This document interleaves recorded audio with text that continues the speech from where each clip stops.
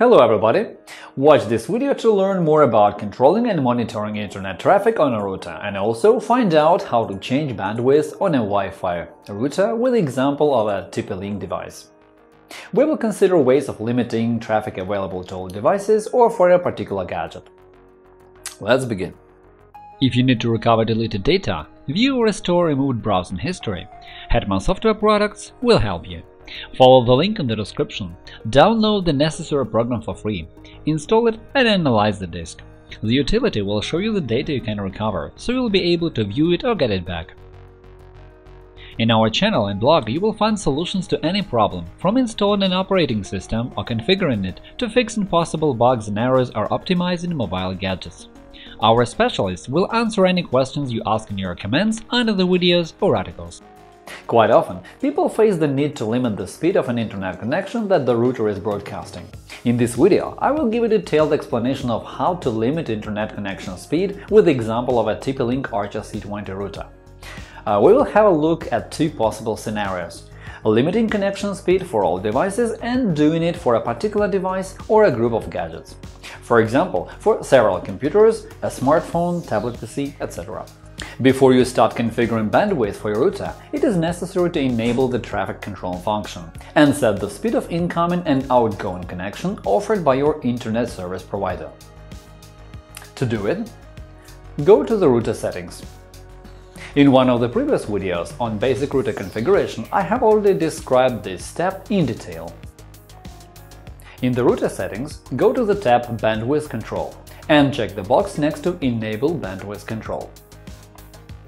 Set the egress bandwidth and ingress bandwidth. This is the speed your internet service provider gives you.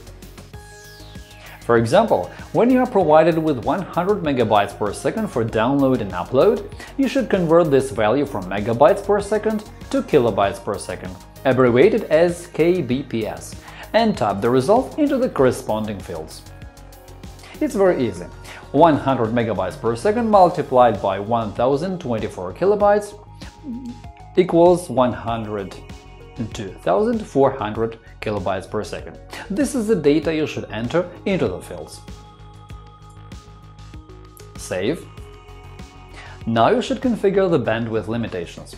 As I said, we will find out how to configure limiting settings for all devices connected to the router and how to limit internet connection speed for certain devices only. To limit Wi-Fi network speed for all devices, Go to the router settings. Go to the tab DHCP to see the range of IP addresses specified there. Look for Start IP address and End IP address. Copy or remember them. After that, switch to the tab Bandwidth Control. This is where you should create a new bandwidth control rule. Do it by clicking on the Add New button. Check the Enable box specify the range of IP addresses, which you saw in the DHCP tab in the corresponding field. The port range field should be left blank. Protocol – choose all. Priority – the default value is 5, so you may leave it as it is. Set the maximal egress bandwidth and ingress bandwidth. The minimal value, usually the minimal permissible value is used, is 1. The maximal, which I choose, is 10 MB per second, that is 10,240 kilobytes per second. I will use the same values for the ingress bandwidth. This is the speed at which the device will receive data from the internet. You may set a higher or lower value. Save the rule. Now the rule you have created in the bandwidth control settings will be applied to all devices that ever connect to your router. That is, the speed of incoming and outgoing connection will be limited to 10 MB per second. How can you limit the internet connection speed for particular devices? This method is more complicated. However, in the router settings you can configure maximal permitted speed for every device. These settings should be bound by IP address. That is why let's start by binding the IP address assigned by the router to the MAC address of the device for which you would like to set a speed limit. It is required to ensure that a certain device always receives the same IP address. for which you will set certain bandwidth limitations. How to bind an IP address to the MAC address of a device. Go to the router settings, find the tab DHCP, DHCP client list. You will see the list of devices connected to the router at the moment. You should find and copy the MAC address of the required device. You may also note the IP address assigned to such a device. If the device for which bandwidth settings should be configured is not connected to the router at the moment, you can see the MAC address for such a device in its settings, somewhere in the section About phone, for example. For example, uh, with an Android smartphone, you need to go to Settings, About phone, Status. The address you are looking for is given in the line MAC address. In Windows, go to Network and Internet Settings, change adapter options. Right-click on the network adapter, which is used for establishing the Internet connection, and select Status, Details. Physical address is the actual MAC address of the computer's network adapter. You already know the MAC address of the required device. And now, go to the tab DHCP Address Reservation. This page shows you the static IP address assigned by the DHCP server. Below, you can configure corresponding settings for reserving IP addresses. Click Add New and enter the MAC address of the device. After that, specify the IP address to be reserved for this device. You can use the address from the page DHCP client list, or, for example, specify it as 192.168.1.120. If the IP address of your router is 192.168.01, the address should be 192.168.0120. Change the status to Enabled and save the settings. This way, you can bin the required number of devices or edit, remove and address reservation entry. The most important thing is to remember the IP address you have set. You will need to use it when setting maximal speed for this device. Now, let's configure bandwidth for a device using its IP address.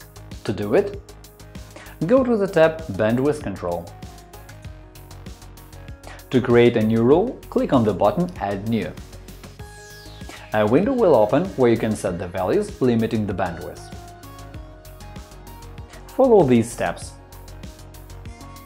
check the box next to Enable. In the field IP range, type the IP address you have previously reserved for this device. The port range field should be blank. Protocol – choose All. Priority – the default value is 5, so you may leave it as it is. Set the maximal egress bandwidth and ingress bandwidth. The minimal value, usually the minimal permissible value is used, is 1. The maximal I will choose 5 MB per second, that is 5120 KB per second. I will use the same values for the ingress bandwidth. This is the speed at which the device will receive data from the internet. You may set a higher or lower value. Save the rule. You will see the rule you have created. It can be modified, selected and deleted, or you can create another rule. For example, to limit the speed for other devices. That is all. Using this sequence, you can set maximal speed for virtually every device connected to your router. To check the result, test internet connection speed on the device for which you created this rule.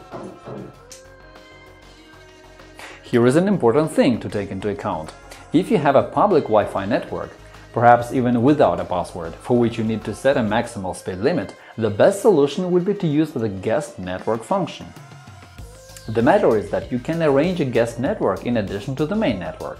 Such guest network will be completely isolated, and you can limit the speed of internet connection for this network. This limitation will apply to all devices connected to the guest Wi-Fi network. How can you do that? Go to the router settings and find Guest Network menu. In this page, you can allow guests to access my local network. If this function is enabled, users will be able to connect to other devices in the router's local network. Guest network isolation. If this function is enabled, users won't be able to communicate with each other. Guest Network Bandwidth Control. This is what you need. This function will apply rules for controlling the bandwidth of guest network. That is, you can use the method I have described before to set egress bandwidth and ingress bandwidth for devices connected to the guest network. For example, the minimal value can be 1 and the maximal 2048 kilobytes per second, that is 2 megabytes per second. Next, you can specify the frequency to be used by the guest network 2.4 or 5 GHz.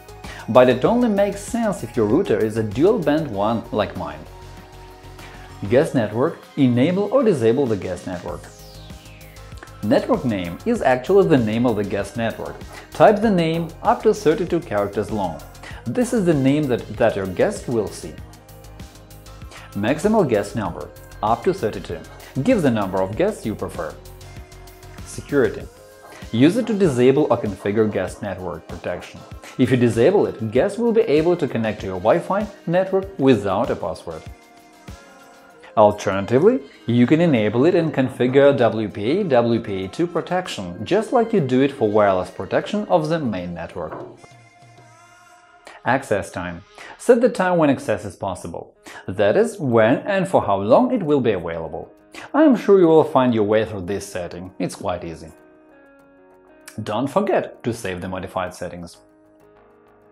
And summing up, these were the methods to limit bandwidth for devices connected to the router, which can help you to control how much internet traffic they are allowed to have.